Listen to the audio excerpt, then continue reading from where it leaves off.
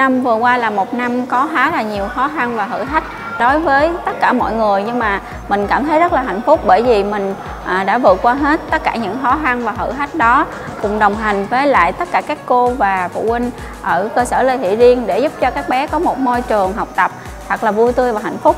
À, điều mà cô cảm thấy tự hào nhất khi mà làm việc tại cơ sở Lê Thị Riêng và à, cơ sở Lê Thị Riêng đã đạt được trong năm học vừa qua đó chính là à, sự yêu thương, sự tin tưởng và sự đồng hành của quý phụ huynh trong tất cả các sự kiện cũng như là hoạt động của trường. Thì một năm qua, các thành viên trong cơ sở đã luôn cùng nhau cố gắng và vượt qua. Một năm vừa qua khá là vất vả nhưng lại vô cùng tuyệt vời bởi vì mình đã thực hiện được rất nhiều việc mới đó là một công việc có mang tính trải nghiệm với đối với mình luôn rất là vui vẻ và phấn khởi khi được làm việc cùng các cô và cảm thấy rất là hạnh phúc trong một năm học vừa qua uh, cảm nhận của em ở trường là sự bình an và ấm áp ạ. Nhân dịp năm mới à, cô Thoa gửi lời chúc đến toàn thể quý phụ huynh cùng các bé tại cơ sở Lê Thị Riêng. Có một mùa xuân ấm áp, bình yên và hạnh phúc. À, và mọi người sẽ à, luôn đồng hành cùng với nhà trường trong năm học mới. Năm mới em xin kính chúc toàn thể quý phụ huynh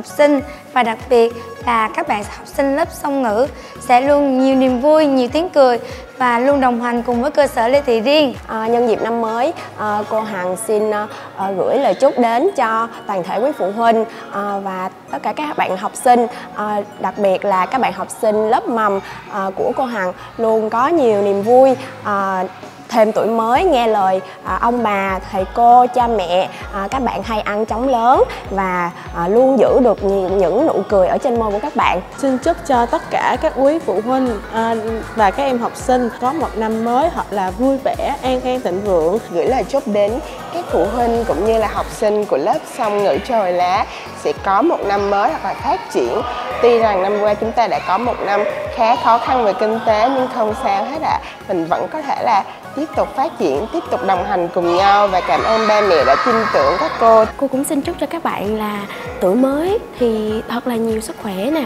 luôn đi học đúng giờ và uh, thật là ngoan nghe lời các cô và em cũng xin chúc quý phụ huynh một năm mới thật là nhiều uh, niềm vui, hạnh phúc, sức khỏe. Nhân nhân dịp năm mới thì chúc cho các con và quý phụ huynh được dồi dào sức khỏe, nhiều điều an khang, vạn sự như ý mọi sự đều là hạnh thông vạn sự như ý mình muốn ạ chúc cho quý phụ huynh và các em học sinh lớp chồi lá có một năm mới an khang thịnh vượng